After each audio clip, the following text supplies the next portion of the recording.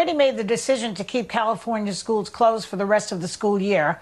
And Congressman Devin Nunes called that overkill, quote unquote. And he insisted that kids could have gone back to school in two weeks or four weeks. How do you respond to that, Governor? Well, I don't want to give him much air. He, I have not sourced him for advice on, on pretty much any issue, and I say that as respectfully as I can, but particularly on public health issues.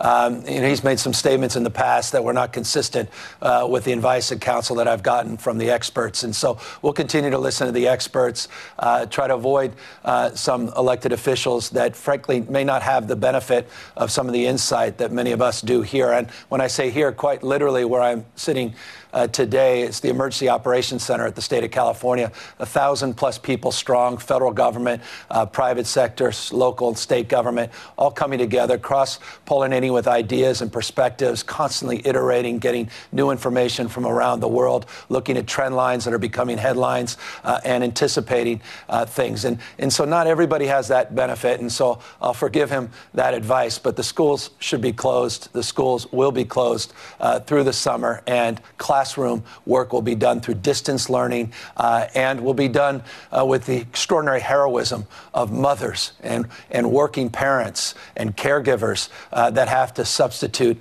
uh, for those teachers and teachers that also have to substitute uh, their own time and attention away from their classrooms, even virtually, to take care of their own kids. Those are the real heroes at this moment. This is California Governor Gavin Newsom making short work of Devin Nunes, who, as late as this month in April, was still attempting to downplay the virus by suggesting that California schools shouldn't be closed. Yeah, that, that's not going to work. I mean, look, the schools were just canceled out here in California, which is, you know, way overkill. I mean, you know, we, it's possible kids could have went back to school in two weeks to four weeks, but they just canceled the rest of the schools. Uh, so, look, I'm optimistic here.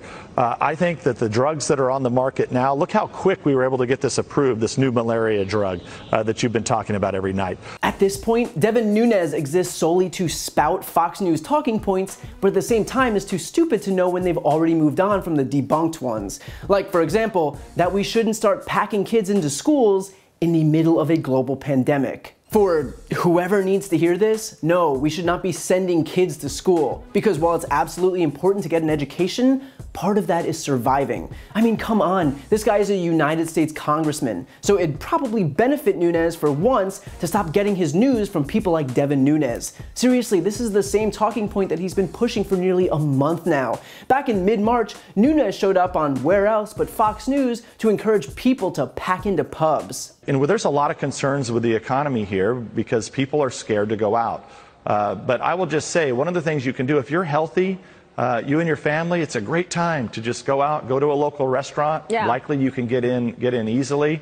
There's, you know, let's not hurt uh, the working people in this country that are relying on wages and tips to keep their small business You know, going. we're very so sympathetic. Don't run to the, don't run to the Understood. yeah, just don't run to the grocery store and buy buy you know four thousand dollars of food. Right, they're cleaning go, off the you know, Go to your local uh, local pub. We want to yeah. be very sympathetic. So when you wonder why we can't flatten the curve, why the virus is spreading so fast, why more and more people are dying every day, you can thank elected officials like Devin Nunes who used his national platform to encourage people to be out in public because God forbid we don't get to eat at a pub. If Devin Nunes wants to be outside, by all means. The guy can spend all day licking handrails for all I care. But to use his platform to put other Americans in imminent danger is such a gross abdication of his responsibilities that the guy shouldn't even be allowed a Twitter handle, much less airtime on TV. By the way, the same goes for his promotion of a malaria drug that has yet to be tested or approved for use against the coronavirus by the FDA. When you start hawking drugs on air, while most people know that that's not a prescription, not everyone does. Because what you're left with is people self medicating, like a couple from Phoenix did when they heard Trump promote chloroquine at a press conference, found something called chloroquine phosphate in their home, took it, the man died, and the woman was in critical condition. People will listen to what they're told by those in power, especially when they're scared. So instead of promoting chemical compounds on national television, Nunes and Trump would probably be better served not playing doctor and instead waiting for people with the medical degree to give the medical advice. And keep in mind, while Nunes is stupidly parroting dangerous fringe talking points like opening the economy back up and promoting untested drugs on national TV, it's coming from the top. Devin Nunes doesn't actually have any original thoughts, he's just there to mindlessly repeat whatever he hears from the only person he serves, Donald Trump.